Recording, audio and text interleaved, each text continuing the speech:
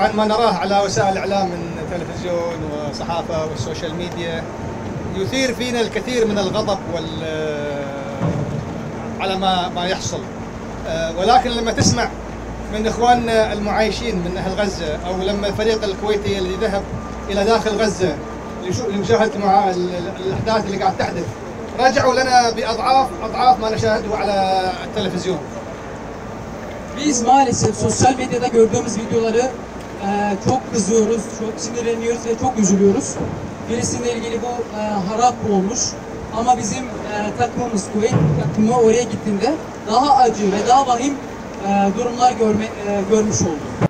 Gazze'de aylardır süren krizden hepimizin haberi var. Maalesef on binlerce insan hayatını kaybetti. On binlerce insan yaralandı ve bunların en az yüzde yetmiş, yüzde yetmiş beşi kadın ve çocuklar.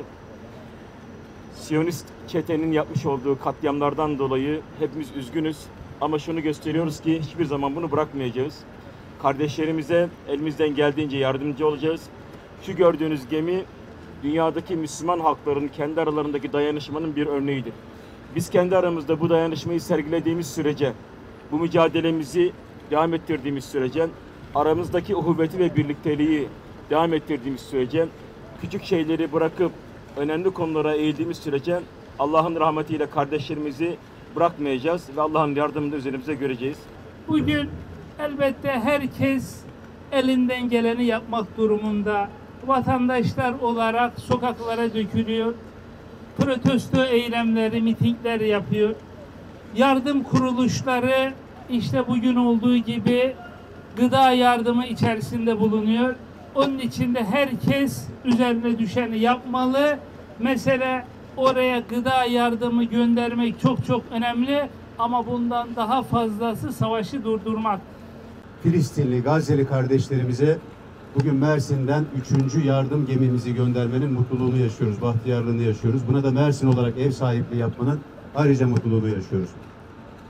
Kıymetli misafirler, bugün Filistin'de yaşanan insani katliam ve dram eğer ki biraz empati yapıldığında insanların filmlerde, sinemalarda izleyip o vahşet görüntülerini ağladığı o görüntüleri bugün bütün dünya 7 Ekim'den bu yana her gün gözlerimizin önünde vuku buluyor.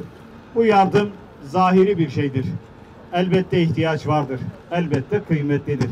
Ama daha önemlisi bu kanın bir an önce durması, bu zulmün bir an önce sona erdirilmesi, bu zulmün bir an önce savaşın durdurulmasıyla önemlidir. Bunun için ciddi bir uluslararası diplomasiye ihtiyaç vardır. Sayın Cumhurbaşkanımızın bu konuda yürütmüş olduğu dünyadaki bütün insanlıkla yürütmüş olduğu bu diplomasinin neticesi elbette kolay değil ama bir mücadele var.